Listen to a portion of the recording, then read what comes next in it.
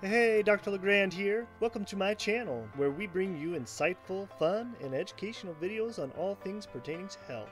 In this video, I'm going to talk about how fasting can eat old scar tissue and how fasting can renew our immune system.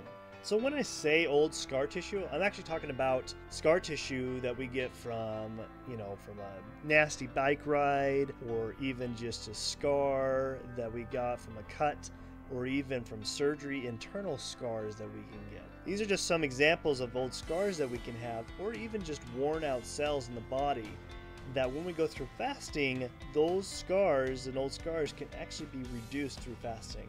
Now, how does it do this? I talked about before, and if you haven't already watched my video on the physiology of fasting, please watch that, and I'll put a link up here. And in that video, I talk about how there's certain stages in fasting, and one of those stages is after the body, when it's been fasting for a while, we've talked about how it goes through ketosis and it starts breaking down fat cells to use for energy.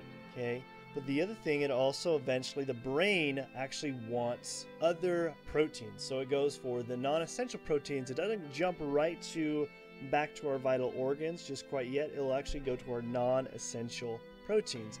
And these non essential proteins are our scar tissues.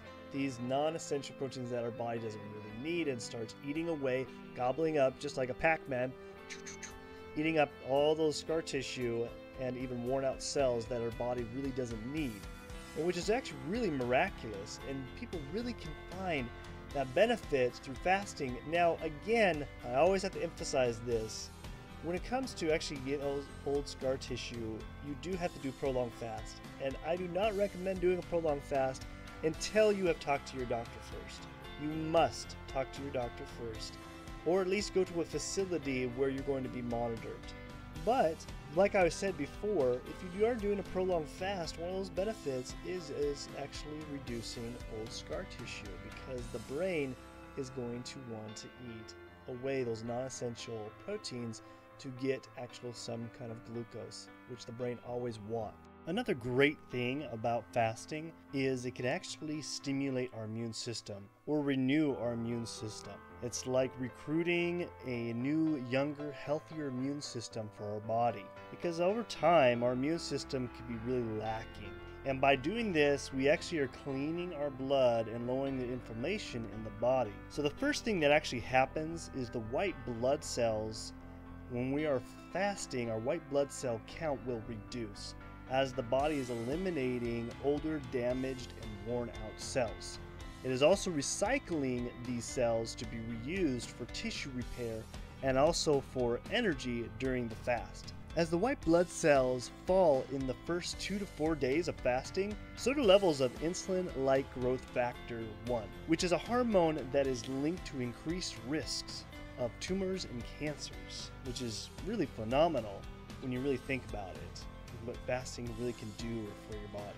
The other thing is protein kinase A levels also do fall, which does signal to our stem cells to go into regeneration, which is also transformation mode, meaning that it can transform into any type of cell in the body. And this could mean such as heart cells, liver cells, bone cells, blood cells, etc. Any of these stem cells can actually produce any of these types of cells. This also signals to increase macrophages, which are the white blood cells that eat invaders in the body. It also increases other important immune cells, so in other words, it really does help increase the body's defenses. You could say that fasting is what helps exchange out an old immune system for a new one that is much younger, healthier, and efficient against internal and external invaders. Wow, this is so miraculous that just fasting can really actually promote our immune system and reducing scar tissue. For today's question of the day, I would like to know how has fasting benefited you hmm. if you've hmm. ever done a water fast? And if you hmm. do have any health questions that you would like to be answered in my next video, please do leave a comment in the comment section below.